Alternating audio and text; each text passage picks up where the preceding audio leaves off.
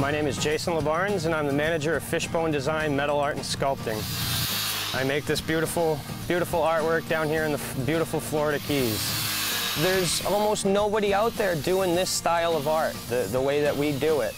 Um, there's a few people that do similar stuff, but um, just, it, I mean, it's just absolutely beautiful the way we hit it with the grinders and give it the, almost a 3D effect with the swirls and stuff. Um, it's an actual style of art called Pierce Point metal art. And a gentleman, an older gentleman showed us how to do it, and we just loved it, and we just took it and ran with it. Everything just comes from our head, you know. We, we want to make a new sculpture, so we'll go diving and we'll see a very beautiful fish, and, and maybe that's the next fish that we make. We, uh, we live in the most beautiful place in the world, and we make some very beautiful art, and, and at the end of the day, it, it's just, there, there's nothing I'd rather be doing.